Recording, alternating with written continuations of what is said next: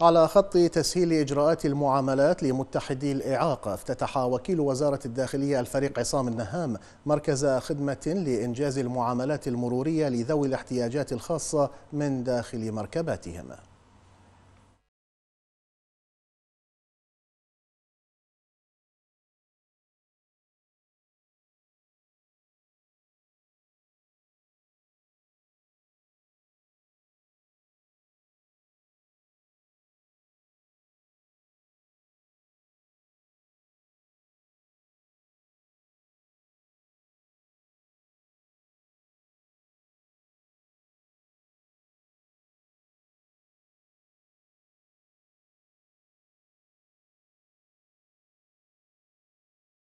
خدمة حلوة وسهلت على الناس وما شاء الله شيء زين يعني.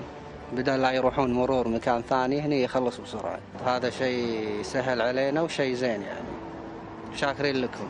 ما قصرتوا.